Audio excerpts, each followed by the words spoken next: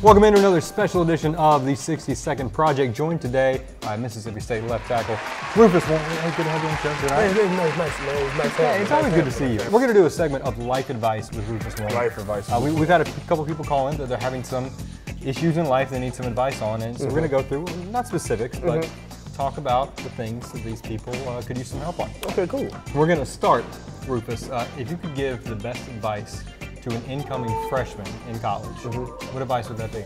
Um, the best advice that I would give, I when I my first year on campus, I was always spending money on food.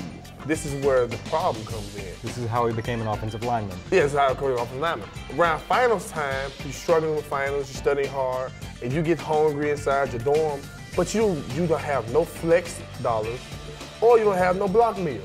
How you now you gotta call mom and get 15 dollars. Listen, save your flex, save your flex. You save your flex so you can have some money to eat off of at the end of the semester, so you won't be eating oodles to noodles every night. You know, it's appropriate to mention money because uh, our next viewer had a question. Getting Okay. ready for retirement. Get ready for it. They're about five years out. Uh-huh.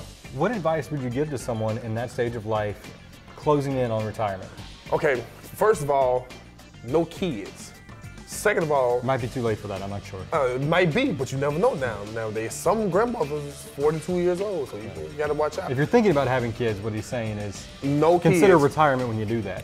Change the locks on your door so your kids won't bring the grand the grandkids over.